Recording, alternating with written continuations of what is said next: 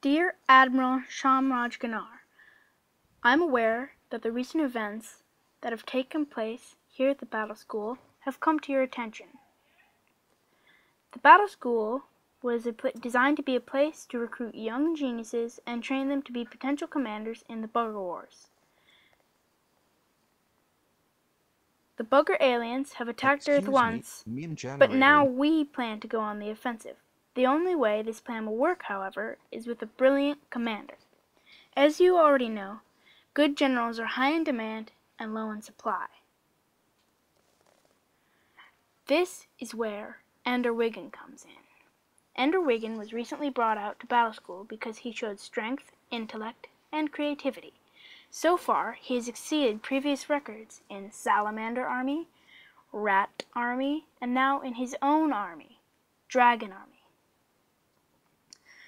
We have challenged Ender numerous times, but every time he finds a way to win. Every time his tactics become more and more ingenious, picking up skills necessary to beat the buggers along the way.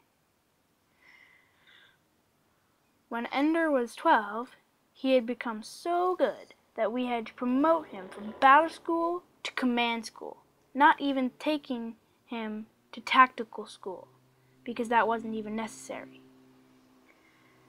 Admiral, I think Ender Wiggin just might be the one who can save us. Best regards, Colonel Graff. Want to find out if Ender can save the world from alien buggers?